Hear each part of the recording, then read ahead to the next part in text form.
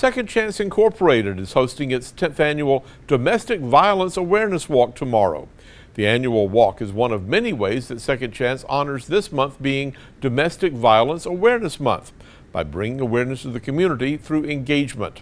Second Chance Incorporated is a nonprofit organization that provides services and safe shelters to domestic violence and sexual assault victims.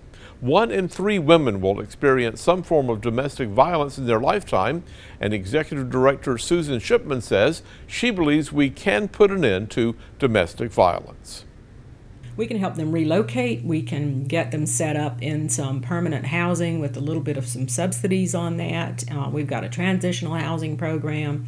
Uh, sometimes a, a, victim just needs overnight to get the plan together and, and to make that escape. And so we want to be there for them and whatever it is that they need to do.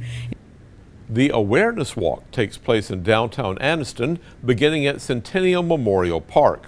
Registration is free and begins at 5 p.m. The walk follows at 5.30. Shipman also says there'll be prize giveaways as well as a guest speaker who will conclude the annual awareness walk.